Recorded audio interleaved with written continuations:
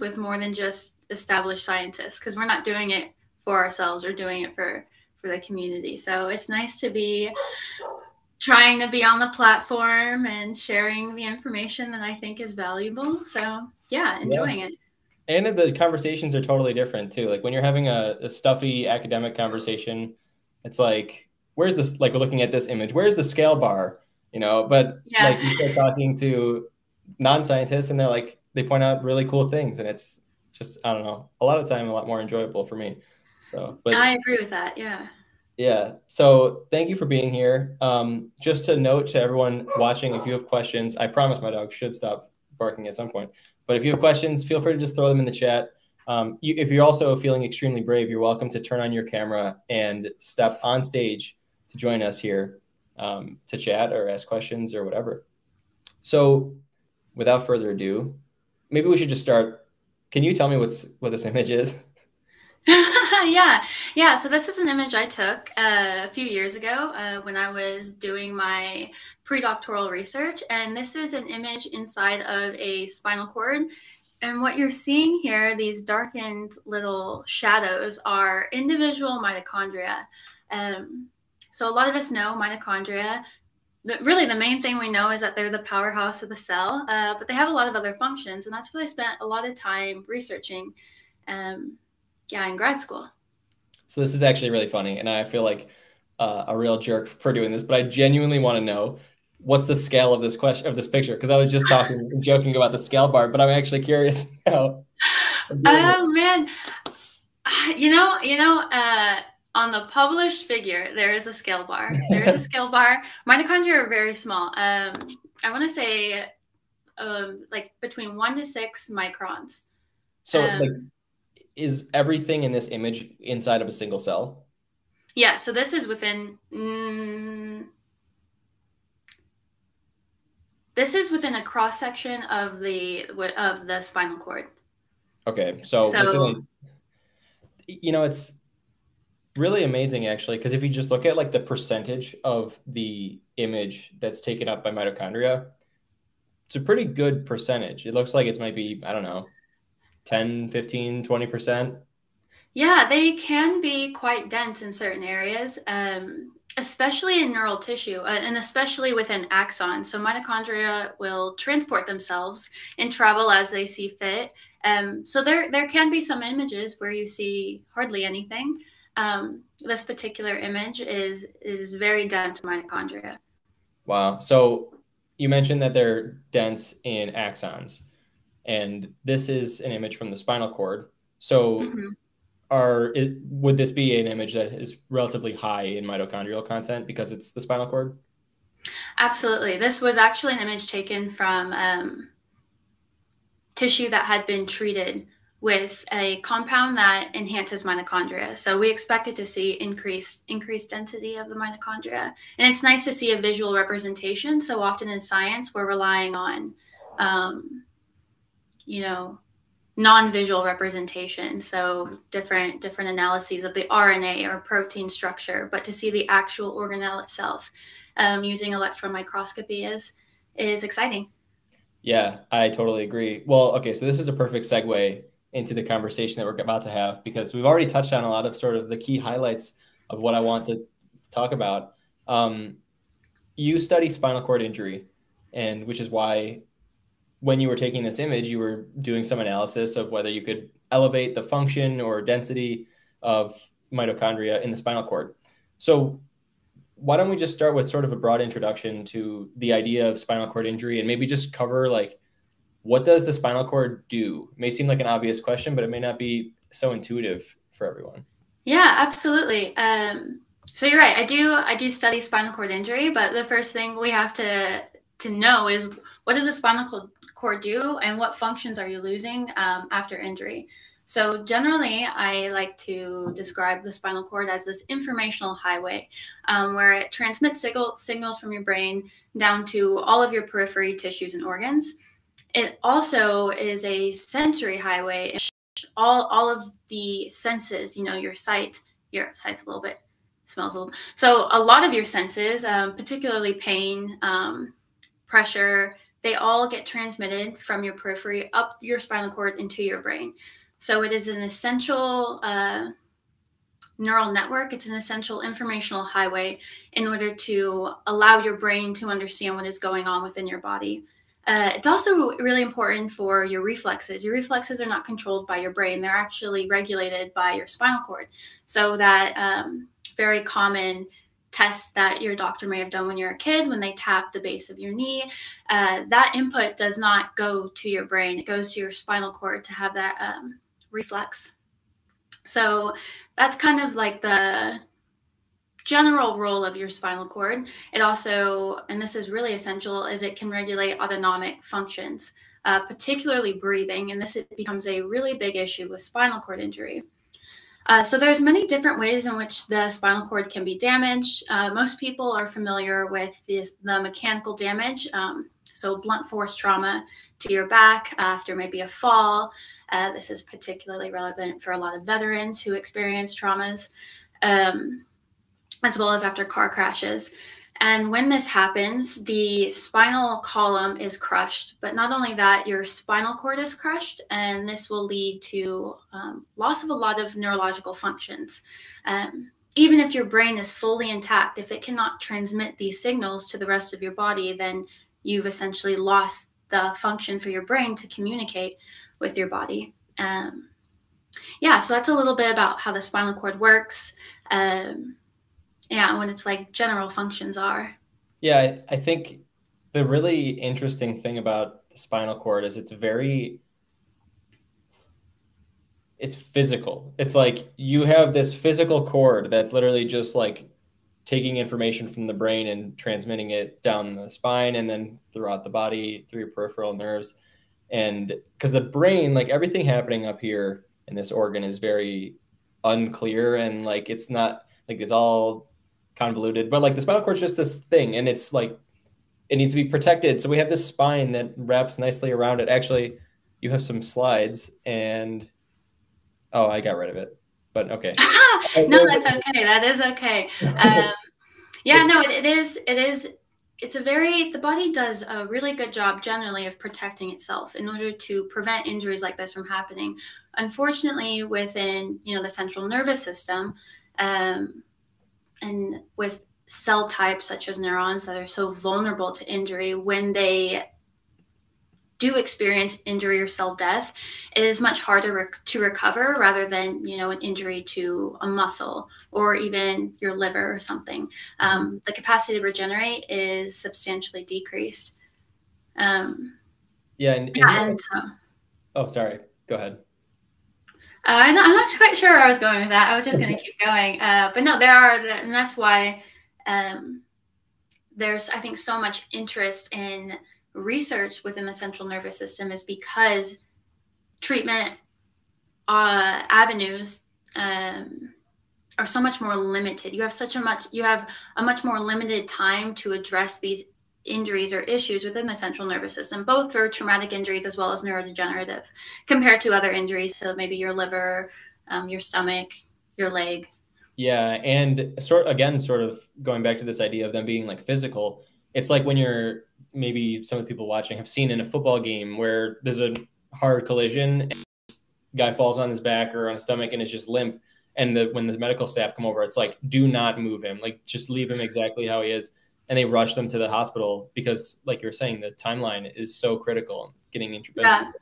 quickly. Yeah, it is, and sometimes it's it's good that you bring that up because you know your body has created this column and your spinal column as well as your skull to protect itself. But when these bones break, all of a sudden your central nervous tissue is so much more vulnerable. If this if these broken bones puncture your spinal cord or if they even even pinch even reduce blood flow to certain areas it can be so detrimental compared to any other organ.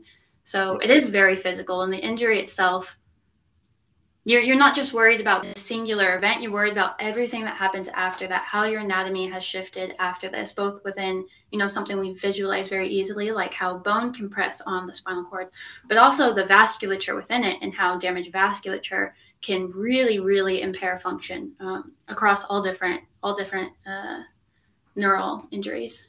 Yeah and i i remember this, I hope correctly, please tell me if this is true, that damage in the spinal cord is more likely to result in like intense scarring that can have long-term consequences. Yeah you do have a lot of glial scarring in the spinal cord uh, and that has been um, a highly investigated area in in understanding what happens after this injury and it's thought like we said the brain's transmitting signals down your spinal column and if you have this scar this tissue that is blocking transmission then you're effectively halting the function of your spinal cord. And there are some theories that if you could just remove this scar, then transmission can continue. And unfortunately, it's a it's a much more complex issue than that. Um, because once the scar is formed, even if you were to physically remove it, function does not immediately uh, restore itself. Mm-hmm. Interesting. So, what we're going to be talking a lot about is um, you know, you've studied spinal cord injury, not on the side of how do we induce spinal cord injury, but how do we heal spinal cord injury. So that's what we're going to be talking about. And um, I want to just point out that the nervous system, how it heals in general, like what we were talking about in the spinal cord, is going to be similar to how healing, how cells, brain cells, heal in the brain. Um, but there are differences. So, like we were just discussing, there's scarring in the spinal cord that makes things different than in the brain.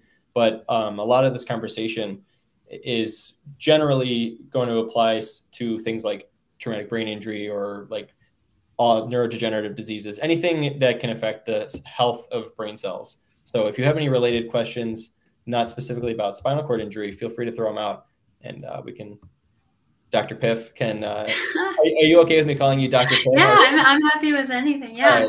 I really like that name. Um, yes, Dr. Piff can can answer whether this these things apply to you know these other conditions that we may talk about.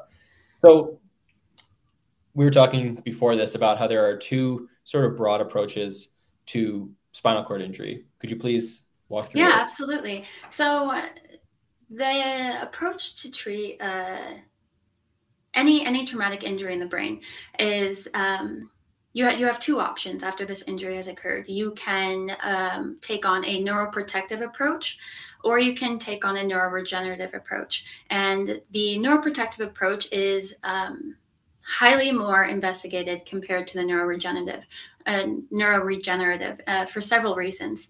So, neuroprotective, when I say this term, I mean preventing injury from getting worse. Uh, so, after, say, spinal cord injury, you're going to have spinal shock. You're going to have a rapidly reduced function. Now, naturally, without any treatment, there will be gradual recovery.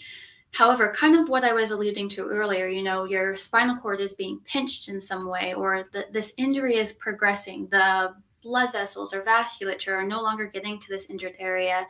And if this continues, then your injury, what happened in, like, say, this car accident or this fall, it's not a single injury it's it's going to continue to progress and so a lot of research is done on minimizing the progression of this injury uh, and in traumatic brain and spinal cord injury we call this uh, secondary injury progression so if we can neuroprotectively prevent this from happening then we can maximize recovery now, what is a lot more attractive and people are interested in is this neuroregenerative approach. And this is where you're seeing, um, like, let's say, an entirely transected or spinal cord where there is complete severing.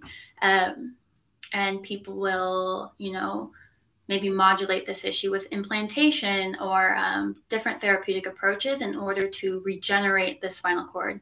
Um, a lot of stem cell therapy is interested in something like this. This is a very complex issue that I would not deem myself a particular expert on. It is um, it is a field within itself. Although I did focus more on the neuroprotective side, uh, but it translates to to nearly every uh, neurotrauma and neurodegeneration. So we can let's say Alzheimer's or Parkinson's.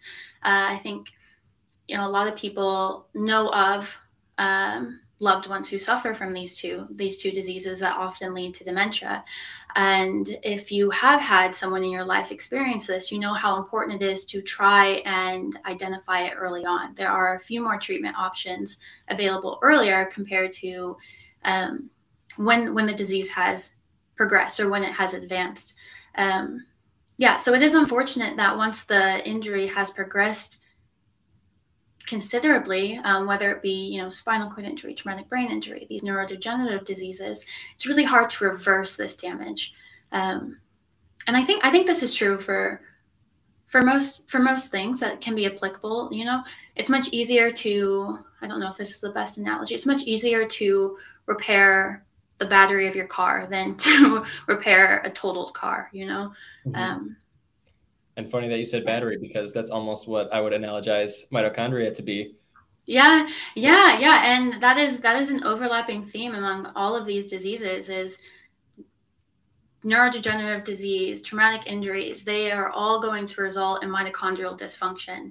And these mitochondria are so important and they're you know, I had I had this professor in grad school. He was this German guy. I cannot impersonate him. I am very bad at impersonations, but he said mitochondria are so much more than their ATP synthase, which means like they're so much more than the powerhouse of the cell. They are the balance between life and death.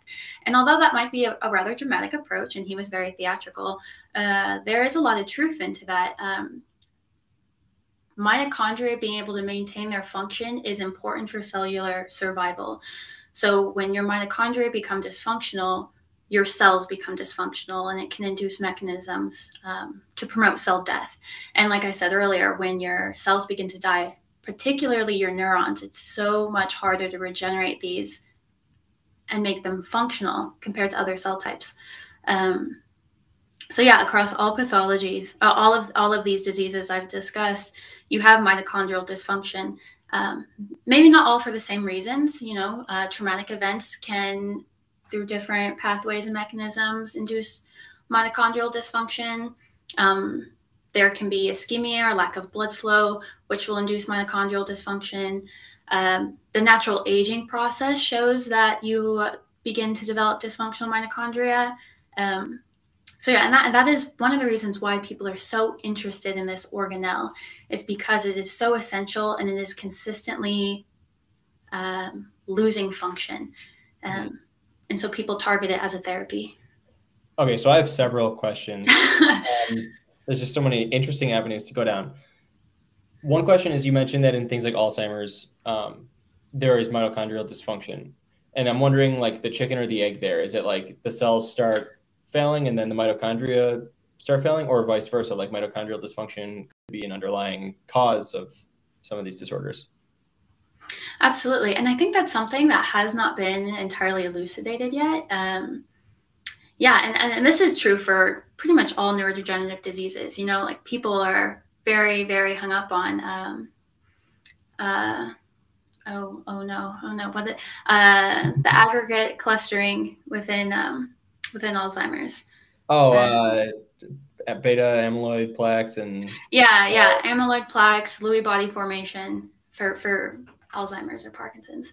And again, chicken or the egg is is the dysfunction dementia happening because you know this is presenting itself, um, or is it because is mitochondrial dysfunction leading to to something like this? We do know that in early even early on cases where you're not symptomatic, but you might be showing um, like a phenotype in, within the brain that there is mitochondrial dysfunction. So whether it happens, whether it's causing your dementia, uncertain, but we know we can document it happening early on. That's so interesting. I never thought about that. You know, I've thought about like what you're saying, how there's every science as a whole, neuroscience knows that in Alzheimer's disease, you very often, actually always, I think, see these plaque buildups.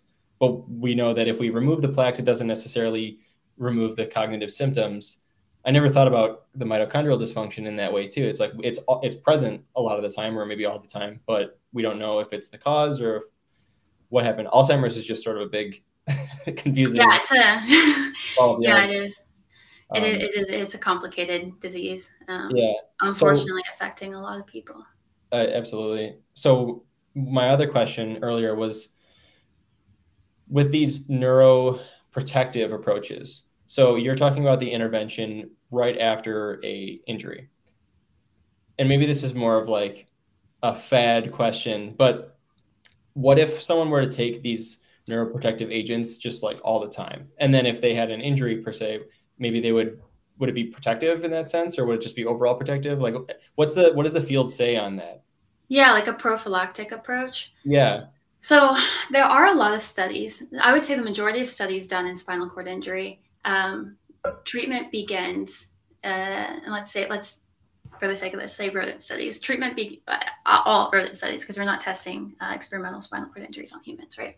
um, the majority of studies will begin at the time of injury, if not prior to. And so it is a prophylactic approach, and that has the best odds of success as far as retaining uh, function after injury. However, it excludes a large demographic of people who have already suffered from the injury.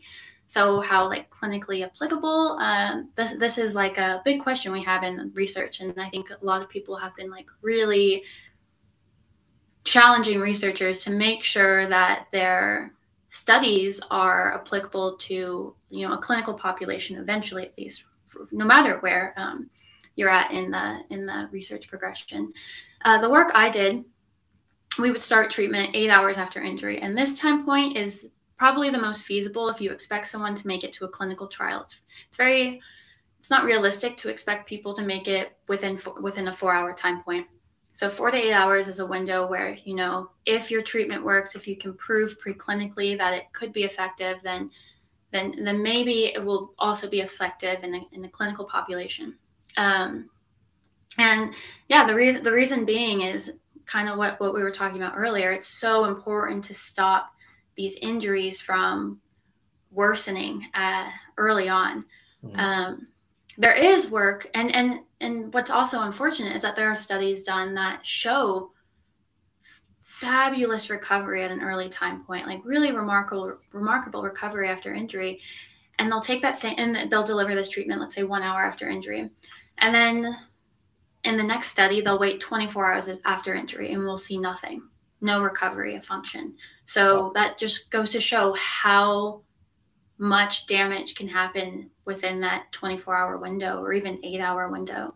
Um, yeah. So yeah.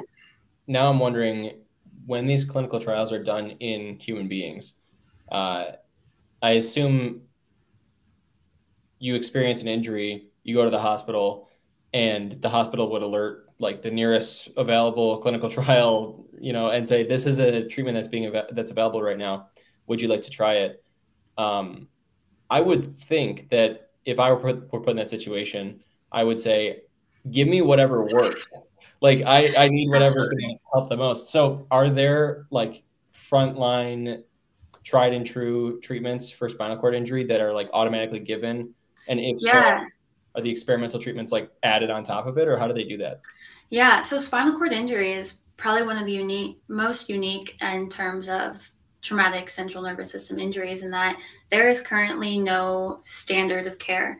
Um, so uh, I don't want to get the dates wrong, but late 90s, early 2000s, methylprednisolone, which is a glucocorticoid, it's, it's a steroid. Um, people, and, and it kind of impairs your inflammatory system. Um, hmm. and most people suffering from spinal cord injury or who are coming to the to the emergency emergency room immediately after were being treated with this anti-inflammatory compound. And um, several years ago, they removed that as the standard of care because it was actually providing um, it was it was making outcomes worse. Um, there were incidents of um, sepsis as well as uh, even um, um, reduced reduced uh, capability, so reduced motor function after after treating with methylprednisolone, and the standard has not been replaced. So currently, and I went to a I went to a conference a couple years ago where I was um, listening to some clinical physicians, so MD PhDs, um, talk about specific cases in their practice. And we're looking at these spinal cord injuries and discussing, you know, what treatment would you offer? And in so many cases, no surgical intervention, no pharmaceutical, purely treating symptoms, mitigating pain, treating symptoms, ensuring that breathing is intact. Um, so it is really unfortunate. And so, so in, in this, you know, hypothetical, you go, you go to the emergency room, you have a spinal cord injury. What do you ask for? There's very little you can ask for, you know, in 2020. Um, for neuroprotection or for neuroregeneration. You know, there are there are therapies you can use to mitigate symptoms of, but as far as maintaining or ensuring intact uh, spinal function, that that is uh, not an option. So, wow. so yes, there are there are. I I would probably sim- be similar too, in that if there was a clinical trial, I'd be very eager to to enter one. Um, yeah, and yeah. now everyone, you know, of course, we don't want this happening to anyone, but if they're ever put in the situation, the earlier the treatment begins, probably the better. Um, yeah, absolutely. Especially for other for other diseases, for for stroke especially. Stroke is such a treat it as fast as possible. Early intervention, there are really really good outcomes. Physicians have you know done really well in mitigating those issues um, or the, the, symptoms if it can be addressed early on. Um, yeah, and, and then for other neurodegenerative diseases too, there are a lot more options if you're able to identify it early. And I think that speaks to, and we, we won't get too much into this. I know we're focusing on the science, but accessibility of healthcare. I'm going to go on this real quick because um, it's so important that you have one faith faith in the healthcare system as well as you know it being accessible to you.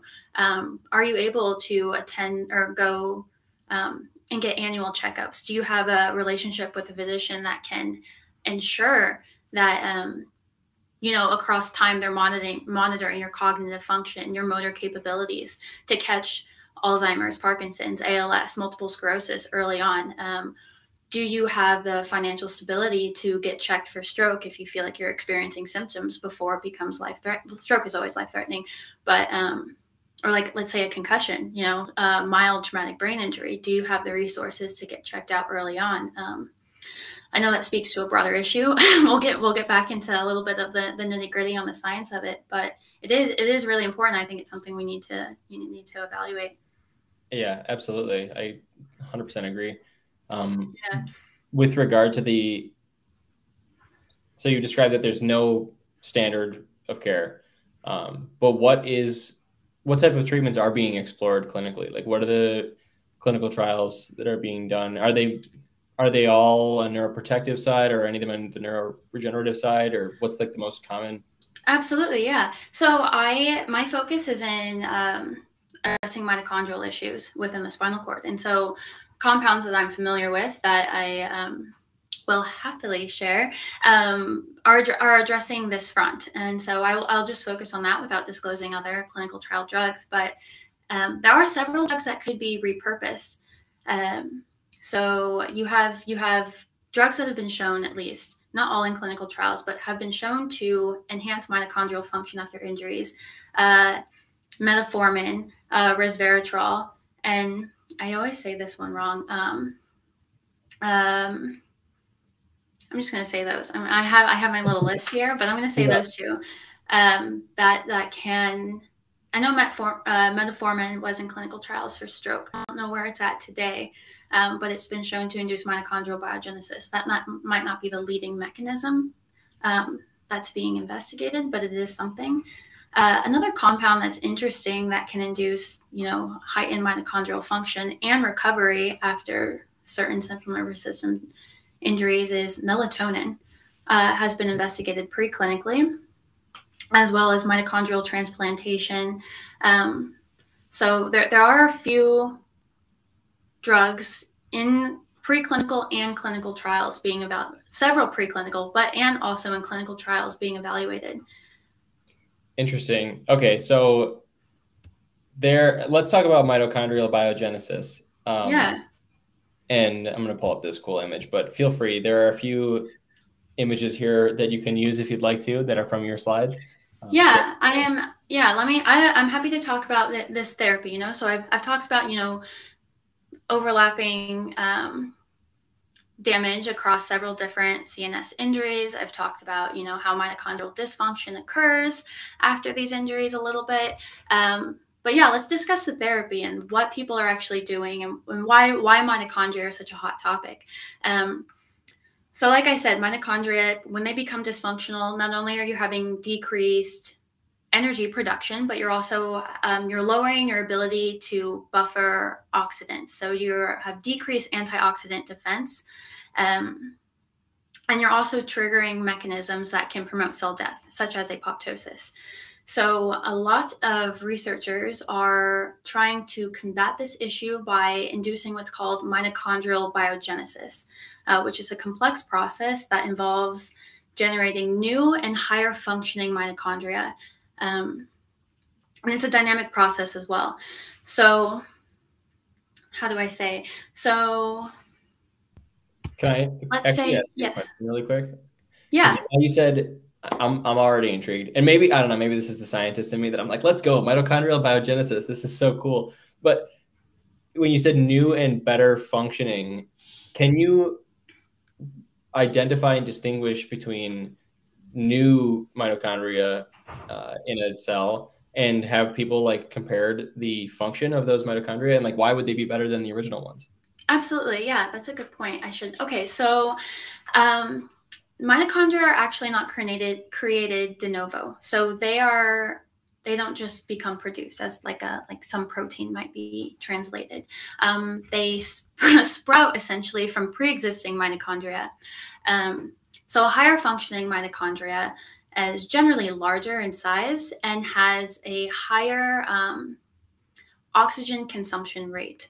Um, so, if you're thinking about aerobic respiration, how that generates energy, a lot of people will measure mitochondrial function based on the amount of oxygen they're producing. And this is with um, several different uh, cellular assays that can be performed.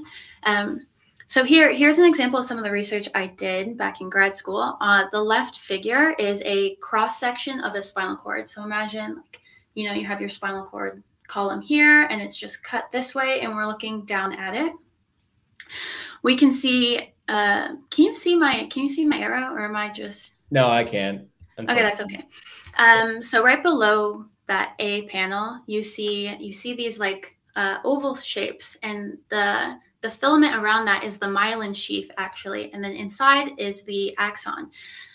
And this is an electron microscopy image. So within this one axon, we're seeing very little mitochondria. Now on the right side, this is a spinal cord that's been treated uh, with a compound to induce mitochondrial biogenesis.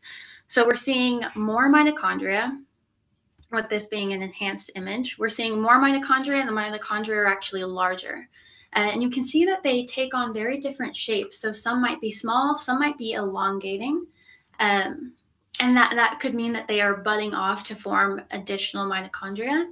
Um, but yeah, and so when you produce these mitochondria and they are, um, you know, you have a higher density and higher functioning, you're producing more energy, you're st- stabilizing cellular systems to prevent uh, cell demise, such as apoptosis.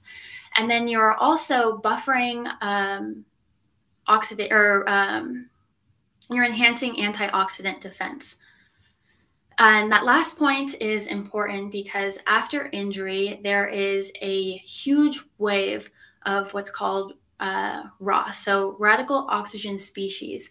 And these, these little compounds saturate an injured area and they can damage tissue and lead to more cell death and demise.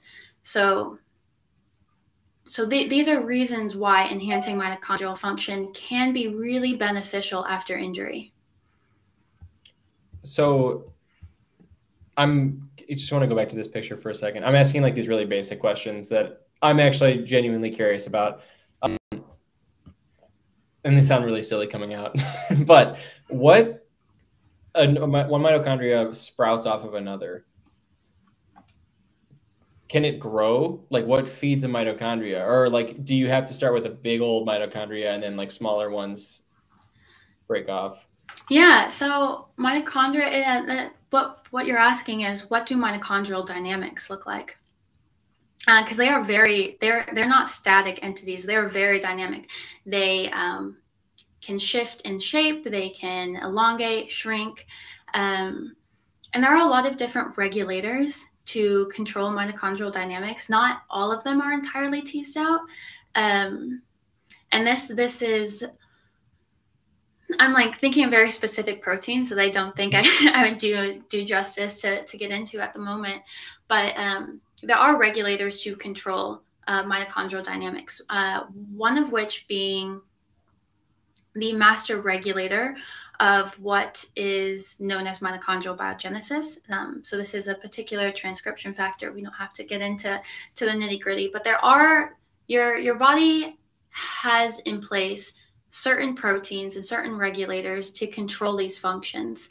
And that's actually an interesting point because these like very specific proteins are what we're evaluating to determine if we've induced mitochondrial biogenesis. So here is a very nice image where you see more mitochondria. Here is a very good representation, but when scientists are actually performing these studies, we don't always get these representative images. We have to rely on bar graphs and you know RNA analysis. Um, and when we rely on these RNA analyses or looking at specific proteins and concentration levels, in order to feel confident in making a conclusion, we look at regulators of um, these cellular pathways. So it's not just do we see more mitochondria, but do we also see all the accompanying signals that we would expect to see? Absolutely, because you can still have mitochondria that are dysfunctional. Mm, interesting. And and this is this is a big point with research. And whenever you're analyzing a, a publication, you know, just because they have one endpoint, endpoint being for this more mitochondria, does not mean that it's going to cure spinal cord injury. Just because, um, and this is, uh, you know, let's say let's say for neurodegenerative disease, just because it has reduced brain volume, um, or you've you've maintained brain volume or if you've you've been able to mitigate some detrimental issue does not mean that cognition is better. It does not mean that they walk better think better talk better. Uh, so scientists have to do multiple tests. And this is what you'll see when you look at research publications um, and like the vigor that researchers take to be confident that not only are you seeing significance within like a specific point but you're you're seeing an impact. Like this might actually make it to the clinic one day Mm-hmm. Yeah, I feel like that's a really great point. It, those are the, the, that's what distinguishes um, like really high level, high impact mm-hmm. research from l- lower impact research is like all the papers you see in these top journals, Nature, Science, whatever. They if they make a single claim, there's like 10 supplemental figures where they're showing it in all different ways. And just like this, like not only were there more mitochondria, but we also found that the master regulator gene was also overexpressed, suggesting that it's you know another endpoint confirming our our suspicion. Um, so yeah, absolutely. You have to be able to back it up. Um, and I think this is, you know, there's talk of the like the preclinical to clinical gap. This there's a like nice little schematic and term for it that that they um, don't have ready to pull up. Uh, but it's it's this like valley of death is what people call it. You know, you have such good preclinical research and all of these like papers are so exciting and we can cure this, this, this. And then you take it to the clinic and nothing works. And it's because we're not being, so many researchers are not being vigorous enough to make sure that they're looking at more than one endpoint and, and to make sure that the endpoints they're looking at are clinically applicable. Mm-hmm. Yeah. So in this case, your goal is to not only increase the, I don't know what will be the term, the number, the density of mitochondria, um, but the function. And so this actually uh, as a whole, this is mitochondrial biogenesis. You are inducing mitochondrial biogenesis with a drug in this case, I would assume. yes. Yes. Right. Um, so did you have any other indications that this was effective? Like how, if, yeah, did the mice, yeah, so like, I guess is what absolutely. So the endpoints as far as mitochondrial biogenesis, we looked at mitochondrial density. Uh, we looked at, um, you know, certain proteins that demonstrate function. We looked at the actual oxygen consumption, so like the most functional aspect of the mitochondria. We eval- evaluated um, cellular stability, all to say that mitochondrial biogenesis has been induced. And then to say that this induction promotes recovery from spinal cord injury, we evaluate we evaluate um, the spinal cord's pathology. So, you know, after a spinal cord injury, you'll have a lesion or all this damaged tissue. And we evaluate this and say, oh, the injury is smaller now. There is a decreased lesion. And this is some of the research I did with the far left column being a spinal cord, three sections down um, of an intact animal, no damage. The middle is a spinal cord that was damaged with no treatment and on the right side is a spinal cord damaged with treatment. Uh, and this blue staining stains myelin, uh, which can help be representative of you know the integrity of your spinal cord. And we see from the middle column at the most injured site, there is very little blue staining, so very little myelin present in this injury. However, we see some recovery of this myelination with treatment on the right side. So this is another endpoint. Um, but this, the, even this alone isn't enough. Saying that the lesion is smaller, uh, whether it's brain injury, spinal cord injury, another pathology, isn't enough. We also evaluate locomotor function. So are these you know are these subjects walking better uh, and that is that is the most important you know you can have and that's what people want to see you can have all of this recovery i could make the spinal cord look perfect again but if if the subjects aren't walking better then then what is, what is my therapy actually doing you know um yeah so that that's that is like the the like pinnacle endpoint is is their functional recovery right yeah, and it's like if you can make them walk perfectly without touching the spinal cord, then great. But that's just impossible because that's not how the spinal cord works. Um, yeah. But okay, so I back up question that just hit me. You've referred to mitochondrial biogenesis as a neuroprotective treatment, right? So Correct. to me, it would seem more of like a neuroregenerative treatment because it's it is sort of like restoring some function, right? Is it like would you put it somewhere in between? Um, I think it's a little bit challenging. Um, you know, because the, these terms are not definitive, neuroprotective versus regenerative. Um, and, and it depends on what you're looking at, right? Are you regenerating the neurons? So we've shown like axons can be regenerative. Um, they are they can be quite plastic compared compared to the actual cell body. Um, myelination can be regenerative if the oligodendrocyte isn't damaged. So, to the capacity of regeneration that we're discussing, um, it, it, could it could also be deemed like kind of middle ground. Um, mm-hmm. But like I would say, it's like most formative role is is protective. Um, so yeah, Les lasmiditan. Mm-hmm. We're not pronouncing that right. Um, is an agent that induces mitochondrial biogenesis. Yeah, so lasmiditan is actually really interesting and something that we studied a lot in my previous uh, my my grad grad school lab was taking drugs that are in clinical trials or FDA approved for a different disease and repurpose repurposing them. Um, so lasmiditan was FDA approved in 2019. Its uh, clinical or trademark name is Reyvow uh, for the treatment of migraines. Hmm. Uh, it is a um, it's uh, it hits one of the 14 serotonin receptors. It is not an SSRI. It does not hit the SSRI um, like the the serotonin 2A receptor. Does not treat depression. Um, but it was it was recently approved for the treatment of migraines. And the reason why this can be so efficient um, or so so um, a good opportunity is because FDA approval is a very long, very expensive process. So if you don't have to develop a new drug, if you don't have to go through all of the toxicity um, testings um, or pharmacodynamic kinetic testings, then it expedites the process of getting it approved for a different disease. Um, so that w- that was the drug I studied uh, was lasmiditan. Okay, so you don't have to answer this because it might be a lot, but how does lasmiditan induce mitochondrial biogenesis? Yeah, absolutely. So it hits a receptor. It's called the um, 5-hydroxytryptamine 1F receptor, uh, or 5-HT1F serotonin 1F receptor. And when it binds to this receptor, it induces a pathway that eventually hits the master regulator of mitochondrial biogenesis. Um, PGC1 alpha, if you remember, if anyone remembers that. Um, and when you hit this master regulator, you stimulate all of these mechanisms to promote mitochondrial function. And when you promote this mitochondrial function, it will stabilize your, you know, the the the neuron, the, the several different cell types. Um, with my research, I showed that it also improved the vasculature. So after injury, there's a lot of compromised vasculature, and I would say outside of the immediate damage, restoring vasculature um, is one of the, if not the most important thing to do.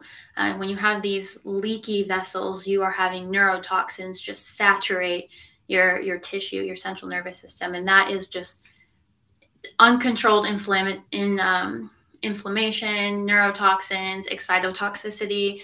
Um, so if you can restore the vasculature as quickly as possible, you're going to maintain um, some some cellular stability.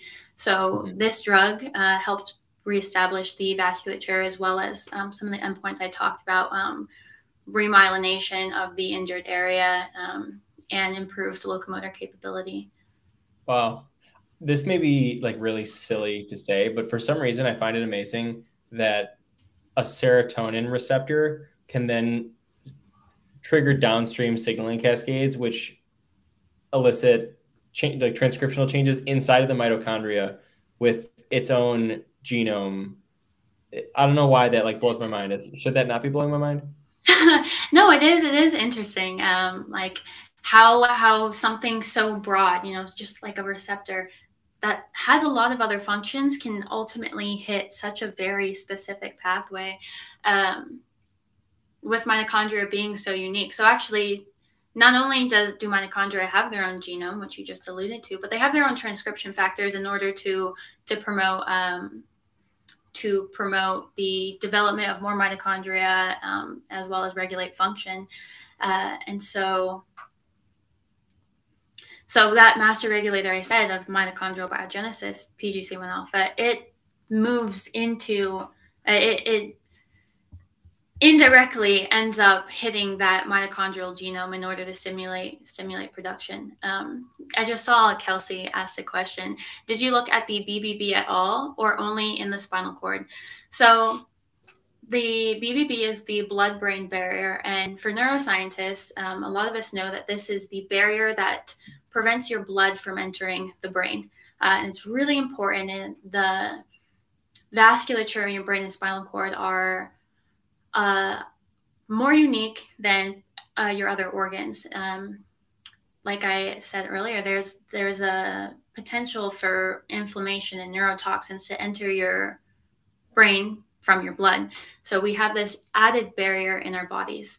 Um, and yes, I did evaluate the blood spinal cord barrier within this, and I saw enhanced recovery. We actually, I, I didn't think anyone would ask, so I deleted that slide, Kelsey. Um, but, but yes, so stimulating recovery of this blood spinal cord barrier, BSCB, or blood brain barrier, BBB, um, and and actually all disorders is really important. Yeah. So here here's an example of um, a, a cross section of the blood brain barrier. So you have endothelial cells, which are like the standard cell type of your vasculature, um, as well as many other cell types.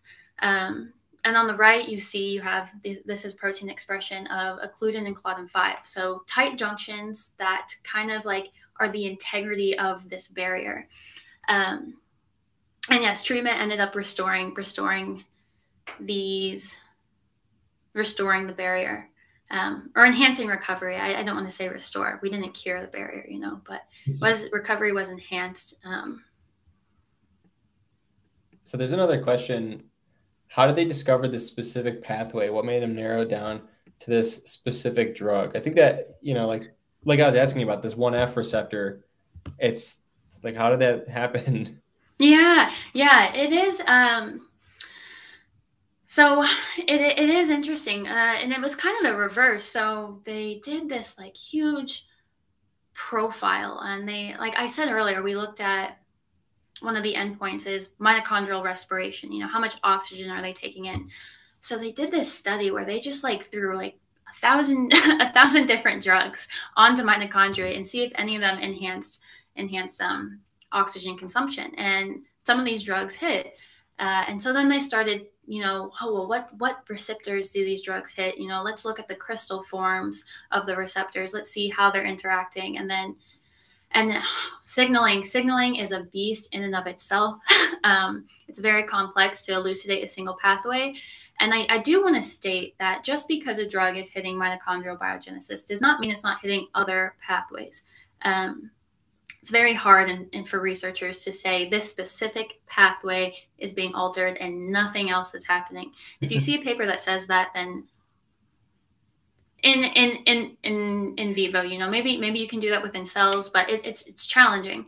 Um, but yeah, so it is it is interesting to think that at some point researchers were able to you know, narrow in on such a specific pathway and identify this master regulator. I wish I knew uh, all of the history in it. I know a little bit. I know my previous advisor, um, Dr. Rick Schnellmann, he's the dean at the uh, University of Arizona, um, did a lot of formative work uh, in in determining determining how we can induce mitochondrial biogenesis.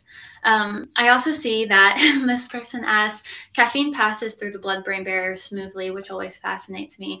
And it is really interesting. The blood, so not only is the, so the barriers are actually different between the spinal cord and the brain. Um, different permeability levels, um, but they are highly selective in order to allow certain molecules in while like protecting you from other from other substances. Um, yeah, highly highly regulated, very complex. We don't we know a lot. We are learning a lot more as researchers, but there's still a lot um, to to be learned about about the barrier and its potential to induce recovery. Yeah, I I find the BBB to be fascinating, and I wish I knew more about it. Um, but I guess maybe there's a lot that we still need to figure out. But going back pretty much off topic, but I think it's I think science history can be really really interesting, and I wish that um, more scientists would do this. Scientists, if you're watching, after you finally retire, if it ever happens, write a book about like everything that happened in your field throughout your career, and just like lay out the progression, because that stuff is like really hard to find it. I don't want to sit down and read it 100 years of papers. I, you know, you were there. Just tell me what happened. I yeah, I, I definitely feel that. I think sometimes um, what scientists have kind of been deprived from the last two years are, you know, interactions amongst each other, um, or especially conferences, because you can have just a veteran scientist, you know, and they they will they they will let you know everything that they did. Like they spend maybe only 10 minutes talking about their current research just because they want you to appreciate like the 40 years of work and strife that they went through. And mm-hmm. i always really enjoy those because it, it is so insane how much information um, has been gained like even within 10 years. And then you think 40 years like how did you start research 40 years ago with like much cruder you know analyses and techniques that they did. Um, yeah, absolutely. Yeah.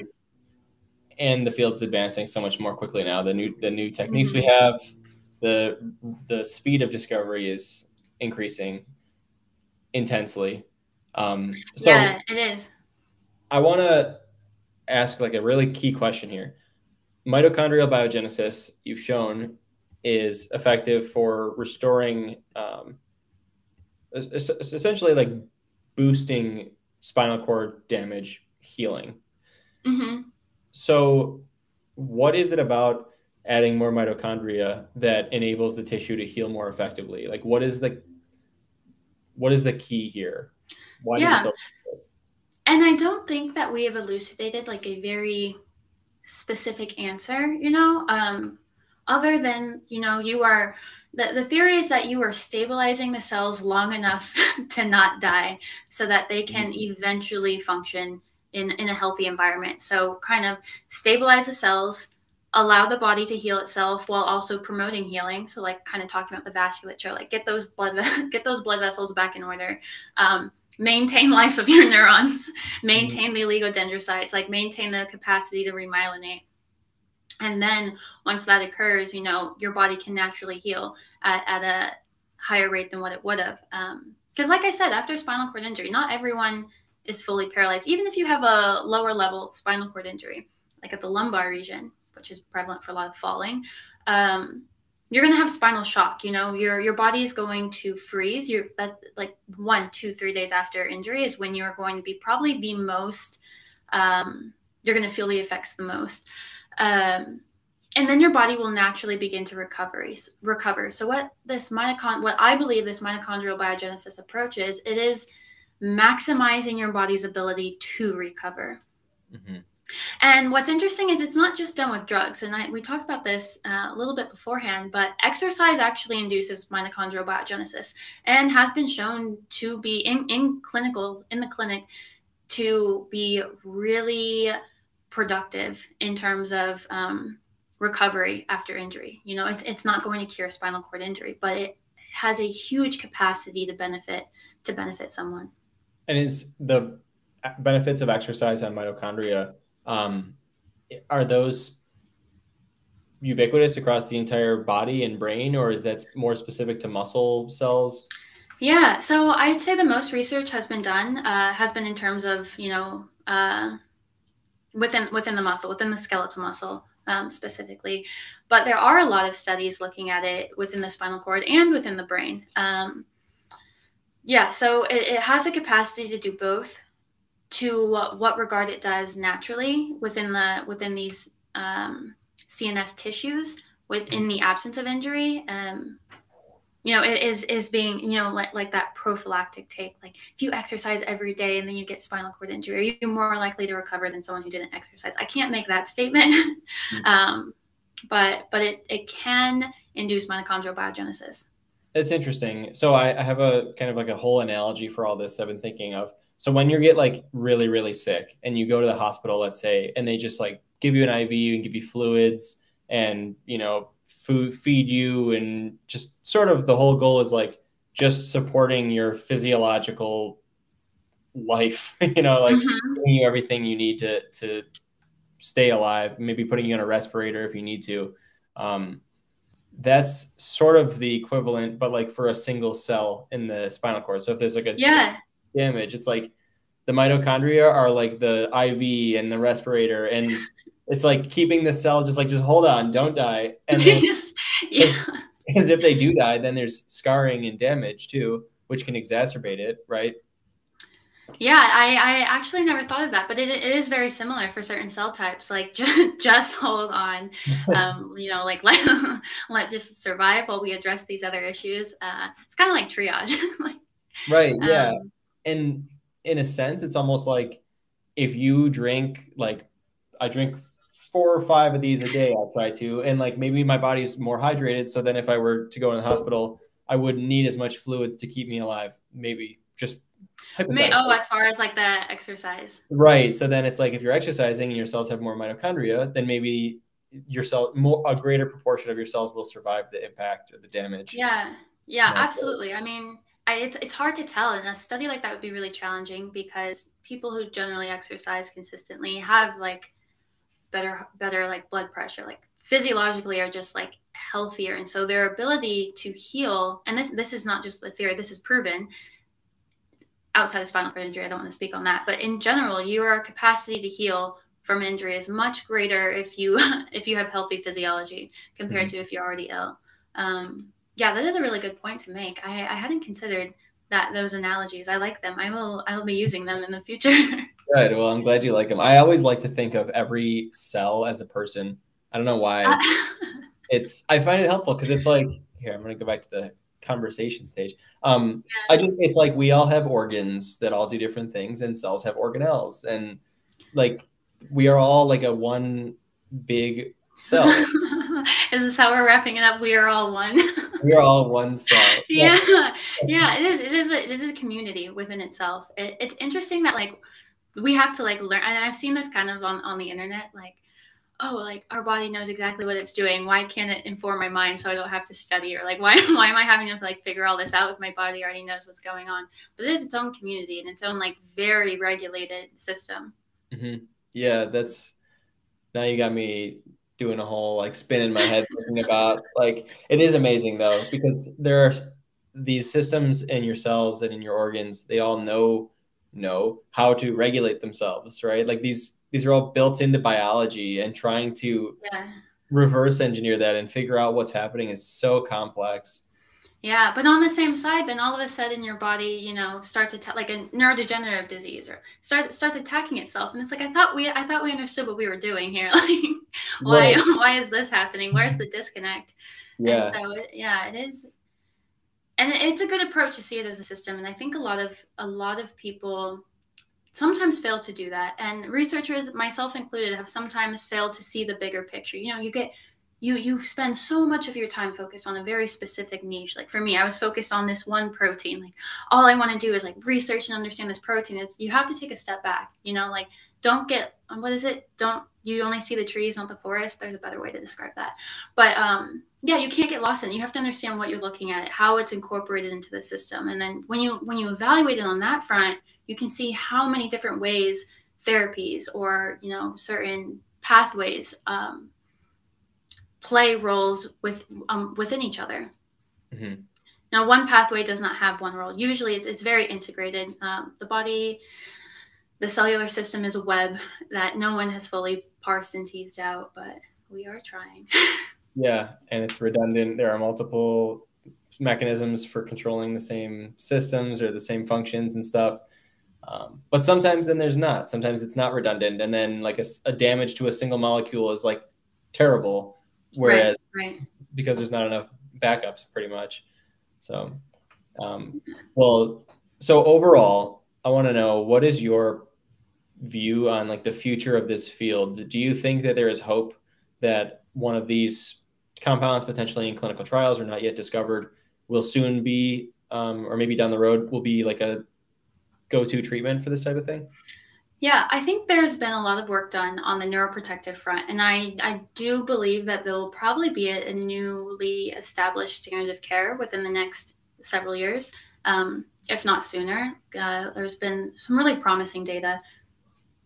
What's more interesting is the work being done on the neuroregenerative front, and on even though it'll probably be several years till we see this, I think we will eventually have you know the capacity to have and i don't want to get into neuralink that's not what i'm saying but um, you know the the capacity to you know recover a lot of our functions irregardless of a transected spinal cord where there is an entire severance um, and no direct connection from the brain to the spinal cord um, wow. yeah i think that people who suffer from these diseases should should be optimistic. Um, i know we talked a lot about preventative and you know trying to find solutions early on but there is a growing number of researchers invested in in serving the community of people that that aren't that aren't going in the hospital within four or eight hours, that aren't able to get into clinical trials, um, that are several years into a disease and want to you know regain autonomy, regain mobility, um, yeah, and, and improve a standard of care. Yeah, and I think that that's such an that's such a key point. You know, you think of someone experiences an injury they're going to go to the hospital they're going to get care um, but that's not the case for everyone it's not it's not accessible to everyone and especially in a situation like this where you've described how the timing is so key um, it's just it's ever more important it's so interesting how you never really think about that until like you lay it out that way i had actually never thought about it that way before so i think looking at those long-term um, delayed treatment approaches are going to be obviously extremely important. So extremely important, extremely expensive, extremely mm-hmm. expensive, but like that shouldn't be a deterrent for serving people who, who really need need therapy yeah. and need options and opportunities. So okay, so now I need to ask you another question because you got about this. So in the field that I'm sort of working on with psychedelics, there's this idea that uh, like psilocybin, psychedelic mushrooms, induces neuroplasticity and sort of like allows your allows for like a short term period of cognitive flexibility where you can sort of like reshape your percepts of things and maybe address shame and trauma and things like that. Do you think this is impossible to answer? I'm sorry. Do you think there's any yeah. possibility for something like that in the spinal cord where like you could temporarily like evoke a state of I don't know if it would be even called plasticity, but just sort of like susceptibility to change and, and healing? Yeah, absolutely. Um, there are so there's a lot of plasticity after injury um, beyond beyond just like the damage. Um, axons are regrowing. They're probably more. That's probably like one of their most dynamic after other than like you know development and establishing your central nervous system. So dynamic um, in terms of growing, sprouting, and you're going to have a lot of and this is this is an issue in the brain too. Um, stem cell therapy like even if they're even even if something is plastic even if you're having these redevelopment of pathways doesn't mean it's always functional um, this is issues with stem stem cell treatment you know just because you have more neurons does not mean they're integrated into the system plasticity is a little bit better because you're addressing like the, the connections rather than um, you know producing more cells uh, yeah i think I think it could definitely have a role, and it might honestly have more of a role later on rather than at an early time point. Um, yeah, it, it, would be challenging. What I would be interested in, and this is me speaking pure pure speculation. So I'm gonna re- remove my PhD from from these uh, from this like hypothetical. Um, if during like sensory motor training or when you're trying to reestablish a connection so we know we know that um, just like muscles are you know muscle memory the brain and the spinal cord acts, react similarly where if you have repetitive motions you're going to reinforce this connection and it will be stronger my like question in a theoretical experiment would be in the presence of like you said a psychedelic essentially right mm-hmm. where you have enhanced plasticity will this be beneficial to more quickly or more strongly producing a, a connection that you're trying to establish uh, as a motor function. You know, a lot of people think of it as like cognitive dynamics, but mm-hmm. which That's, are just as physical. but it's nice yeah. to see like a visual, like a like your like connection to a muscle. Yeah, that is so interesting.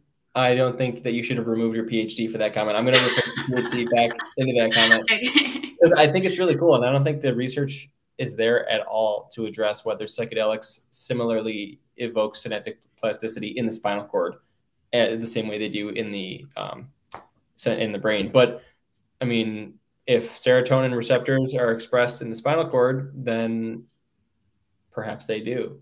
Perhaps, but, yeah. That's intriguing. Yeah, write a grant, write a grant, and I'll, I'll do the I'll do the I'm, I'm, I'm seeing a collaboration project emerge right now. oh no! Really um, interesting. Yeah, I feel like we both have enough work, but we can we can do we can do another project. yeah, if anyone here watching wants to uh, help be an assistant in the lab, please we we need help. You've watched the yeah, project emerge. Test subject, let us know. yeah, but no, that's that's really interesting though. Um, I I will be curious to see where that all goes and where the field leads. Now, because seriously, I don't.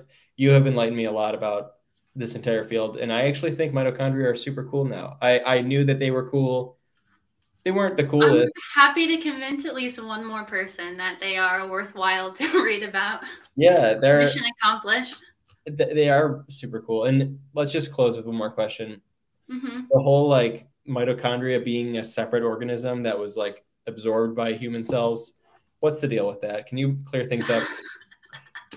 Because uh, you've seen that in like some of the the yeah. So oh wait, sorry, say that mitochondria absorbed by being like taken in mitochondria originating as a separate microorganism that were taken in by human cells and function within human cells in like a symbiotic relationship.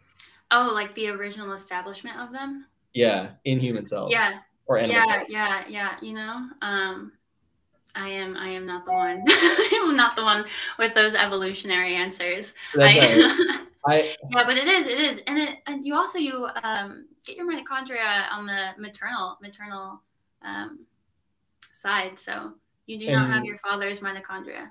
Do we know why that is? Um, yes, science itself, researchers are are aware of why that is. Um, at one point in my life, I was also aware of, of why that was. Oh, um, I can. Yeah. Yeah. Well, I'm. Yeah, I'm really curious because to promote this episode, I did a video on three fun facts, which I got from your paper, and yeah. um, those were the two most common comments I got. People were said you should have done that. They're maternally inherited, and that they started off as a microorganism. And I was like, I don't know if I even, I don't know if I want to talk about those. I'm not so sure. Like I, I, yeah, no, it is. It is. I actually, I think I learned that in in high school, maybe. Um, yeah, I remember learning about like the existence of that fact, but not like the rationale or explanation. Yeah, and it's part of the reason why mitochondria have their own genome is because it's theorized that they were they were their own entity prior yeah. to um, yeah, it's interesting how that can happen, and then they're just so integral in every biological system. Um, yeah, I mean, I wonder if there's any way, or if any scientists have like proven that, like, if you remove mitochondria and just put them in a dish, that they just survive, or like, do they exist naturally in the wild? Yeah. Uh. Oh, I don't know about in the wild, but I have I have done experiments with isolated mitochondria. Um, yeah, I wasn't I wasn't seeking long term viability. I was just doing like a quick experiment, but they, they can be isolated and maintain function for a respective amount of time.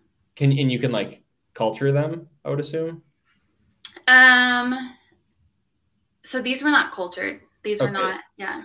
These are just like extracted for an experiment or something. Yeah, yeah. So I just I wonder because like I'm thinking about how they like split. What's the word? Is there a word for that? How they? Yeah, uh, uh, fission.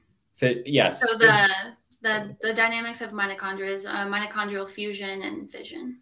Yeah, so it makes me wonder. Like you could sort of culture them in a way, like they might continue to split. Yeah. Um. Maybe. Maybe you know this is also again. I. Sh- I am sure that there is some data research studies on this, but um but but yeah maybe at one point in time prior to integration they were able to regulate currently they need cellular they, they need external mm-hmm. regulation so that master regulator pgc1 alpha that is um, that is intracellular that is not an entity of the mitochondria mm. it's regulation and they are also regulated within the cellular genome not specifically within the mitochondrial genome so interesting so, so as they stand now i don't know if they they could persist on their own for a, yeah Oh, that's interesting. Long amount of time. Well, I appreciate you enlightening me about all these cool facts about mitochondria. Um, I've really enjoyed this. This has been a really good conversation. I have learned a lot, and I appreciate yeah. you not only joining me but also having slides and showing some of that great stuff. yeah, it was nice sharing uh, the information. Yeah, and for anyone who's interested, again, Dr. Piff. I'm gonna put it in the chat again, but she is officially oh, it worked that time uh, on TikTok and Instagram. Yeah. Right? I don't know yes. about Twitter, but TikTok and Instagram. Check her out, and uh, you will love what you find. So, yeah, thank you. I appreciate you for having me. Of course. All right. Well, thanks everyone for coming. And uh, if we could get a round of applause in the in the chat, I know there's there it is. Yes, it's just so beautiful. Oh, that's so sweet. Oh, so much support. I appreciate you all. Okay, thank you everybody. Appreciate it, and thank you, thank you, Dr. Piff. I'm not gonna stop calling you that now. okay, have a good.